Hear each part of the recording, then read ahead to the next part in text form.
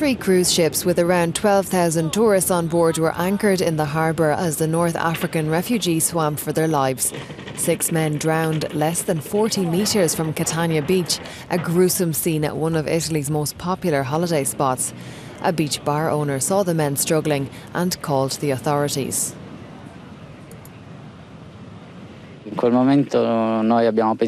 When I saw the boat, I thought it was part of an effort to rescue the people in the water.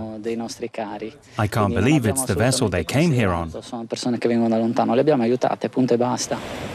The Coast Guard towed the boat in after the drownings. Officials believe around 100 people risked the journey across the Mediterranean. The boat hit a sandbank just a few metres from land. Fearing capture, the refugees scrambled to reach the shore. It's a tragic turn of events. The drowning victims are all men, five adults and one boy aged 15 or 16.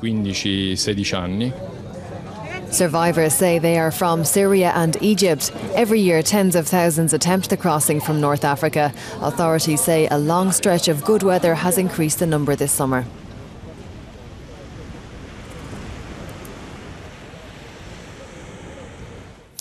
Well, meanwhile, police in France and Spain have arrested 75 people suspected of helping Chinese immigrants illegally relocate to Europe and the United States.